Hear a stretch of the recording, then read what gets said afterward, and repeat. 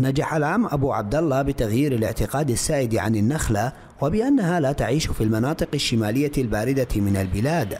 تجربة بدأها بتراكمات الخبرة أثمرت بزراعة أكثر من سبعة آلاف نخلة في الموصل والمدن المجاورة لها. هذا الرجل البصراوي ترك بصمة الخبرة مع كل نخلة زرعها. والله ما شاء الله زرعنا كميات آه، حلوة بين فسيلة ونخلة تقريبا من 6 إلى 7000 بس بالموصل بالإضافة إلى الإقليم. آه، بدهوك تقريبا 3000 نخلة أنشأنا مزارع آه، وعندنا متابعة ميدانية للتلقيح والتنظيف والإدامة والتسميد ومستمرين بعملنا إن شاء الله. تجريب شيء محزن بصراحة. فنعمل على إحياء إعادة زراعة النخيل يعني بالعراق. تعرف النخلة رمز من رموز البلد. خسرت الموصل في السنوات الأولى ما بعد تحريرها أعدادا كبيرة من النخيل التي زرعتها الإدارة المحلية بسبب غياب الخبرة والاستشاريين حتى بدأت بلدية المدينة بالاعتماد على المختصين في الزراعة لضمان نجاح التجربة. بالنسبة لزراعة النخيل تتم بإشراف مهندسين زراعي بلدية الموصل وكذلك مرات يتم الاستعانة بالاستشاريين المختصين بزراعة النخيل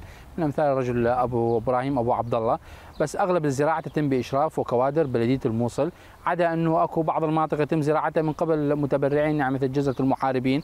وشهدت نينوى بصورة عامة نشاطات بيئية تطوعية خلال هذا العام والعام الماضي. زرعت فيها عشرات الآلاف من الأشجار في مختلف المناطق داخل المحافظة ضمن حملة لمواجهة التصحر والتغيير المناخي. يجب أن تعمل محافظة نينوى وبعد التأثيرات الكبيرة في التغيرات المناخية ونجاح هذه الأشجار أن تستغل هذا الموقف وبالتالي تزيد من أعداد أشجار النخيل ويمكن أيضا الاستفادة منها بشكل اقتصادي.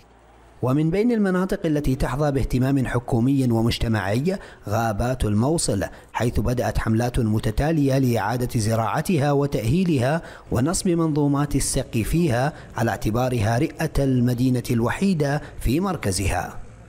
من الموصل محمود الجماس قناة التغيير.